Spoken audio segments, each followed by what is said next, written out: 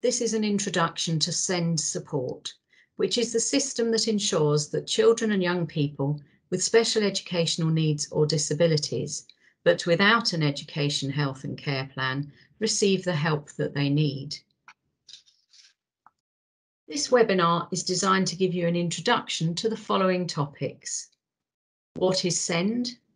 The four broad areas of need, the graduated approach, SEND support and involving specialists, the role of the SENCO, the SEND information report, and school meetings.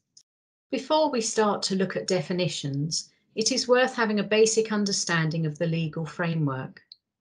In 2014, there was a comprehensive update of the law with the Children and Families Act.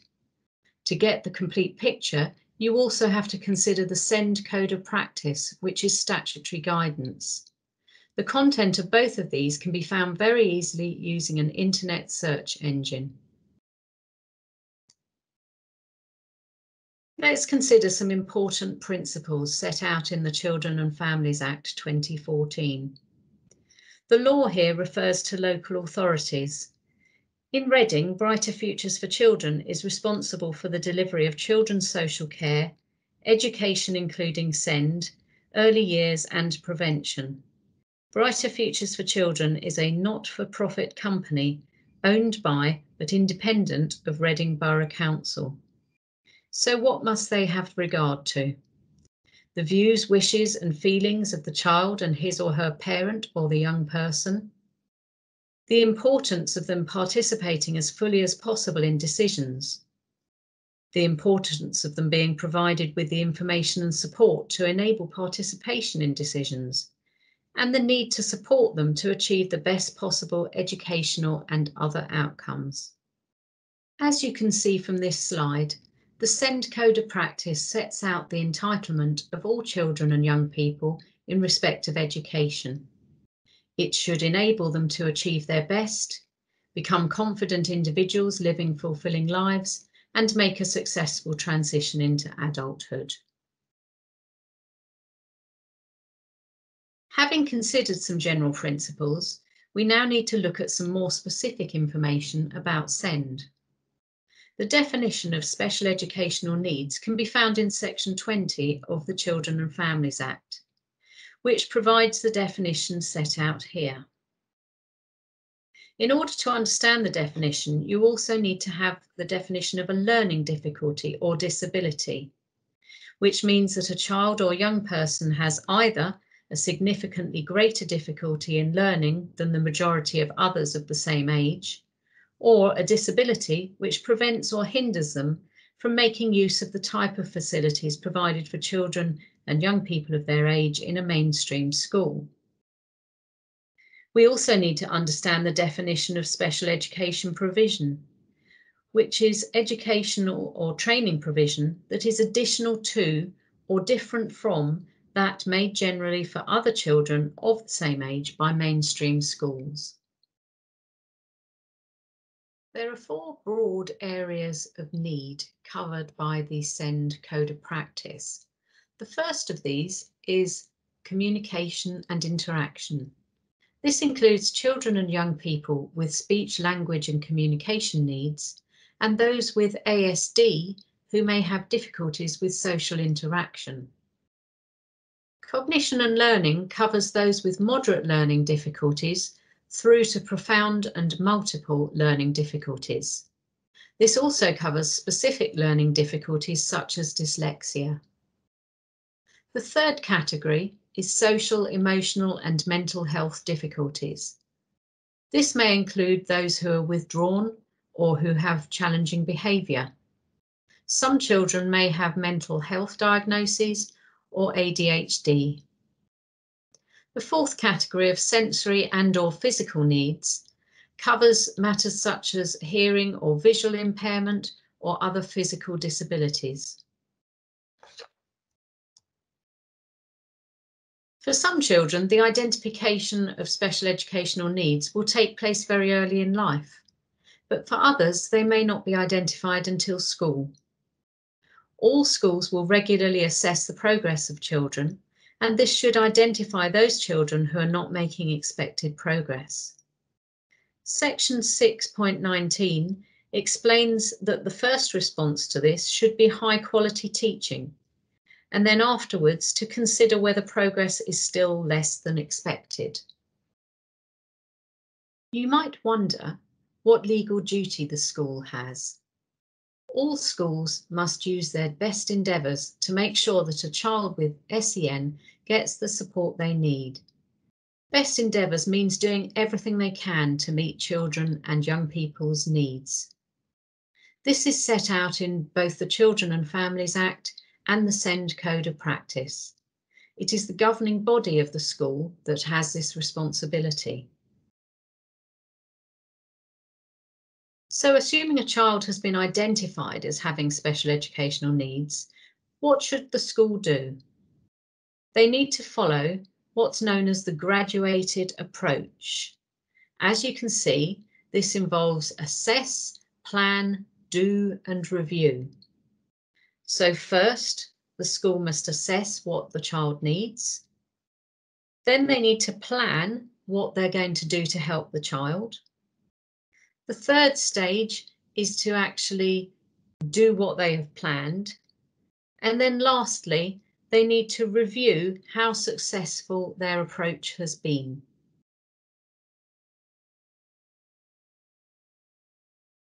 If your child is going to receive support in school, what might that support look like? It could take many forms. Some people assume that it always involves one-to-one support for the child, but that may not be the case. Here is a list of some possibilities. Your child might, for example, have a very specific learning programme. They might do some small group work they might need some movement breaks during the school day. Perhaps they need support with their physical or personal care. And as you can see, it's possible that there may be some extra advice or help sought from specialists, such as an educational psychologist or a therapist. So if we're thinking about the sort of support that might be available from specialists, who might be involved? Here are some suggestions. Obviously, we've previously mentioned the Educational Psychology Service. Some children receive speech and language therapy, others occupational therapy or physiotherapy. Perhaps they may seek advice from the Reading Autism Advisor or the Behaviour Support Team at Cranbury College. Whatever happens, you should be involved as parents in that decision to involve specialists. You may be wondering to what extent you will be kept informed about what is happening. All children will have an annual report and this should explain the progress that has been made. If your child is receiving SEND support, the school will meet with parents at least three times each year, and this meeting will be to discuss the goals or targets and any changes in support that may be required. These meetings should be led by a teacher with good knowledge and understanding of the pupil, most likely your class teacher, together with the SENCO.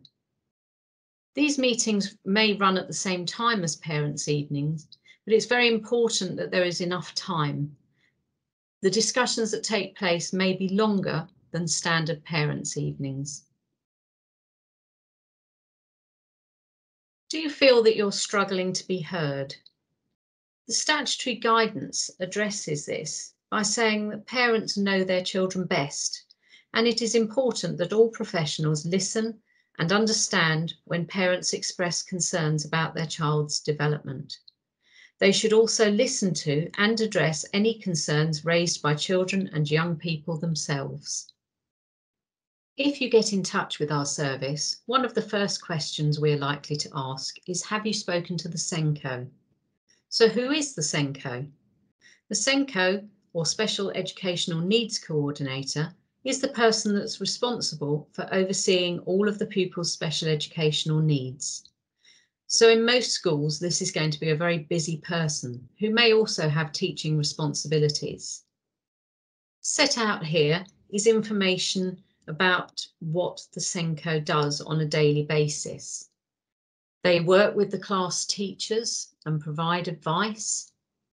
They keep detailed records of all the work that is done with children.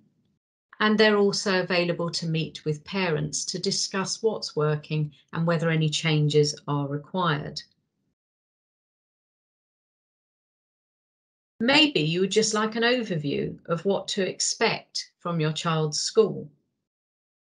Every school will have an SEN information report, which contains a wealth of information together with information about how to contact the SENCO. You can find this information on the Reading local offer. If you put Reading local offer in your search engine, it will come up straight away and you can search for a particular school or other educational setting. Perhaps you have now spoken to the SENCO and you have arranged a meeting. It's well worthwhile preparing thoroughly for the meeting so that you can get the best out of it. As you can see, your child will have a support plan, which is sometimes referred to as an IEP or a provision map. That is a good place to start so make sure you've got a copy of it and then you can use that to think about your child's needs and whether anything needs changing. Also looking at the school's information report that we've previously mentioned and make a list of anything that you want to talk about so that you don't forget anything. During the meeting itself, you will need to be quite active. It may be that you actually take the lead in the meeting and start the discussion, you will need to make a note of any actions that have been agreed and make sure you set a date for a follow-up meeting to check the progress. Because there's quite a lot to think about and do during the meeting, you might find it helpful to have a friend or relative or supporter with you. It's always a good idea to try to work in partnership with the school and here are some ideas that might help to build that relationship. It's helpful to acknowledge that the school has a view and that view may not be the same as yours, but to acknowledge any support that they are offering. Try to make sure that it's clear that you're offering to work with them and share your child's view because your child's view is very important in this process not only talking about your child's main difficulties, but also what works for them in your experience as a parent and perhaps from experience of previous year groups. It's always important to try to make sure the meeting has a solution focus.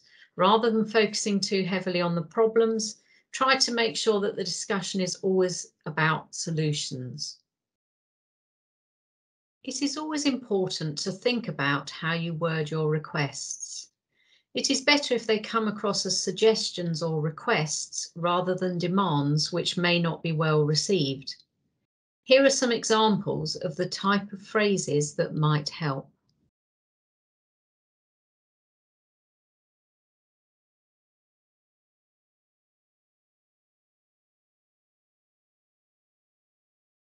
We hope that you will now have some information that will help you to secure the best outcomes for your child. But if you need any further help or have any questions, please do not hesitate to get in touch. As you can see, there are several ways to contact us via our telephone helpline, email, our website or our Facebook page. We look forward to hearing from you.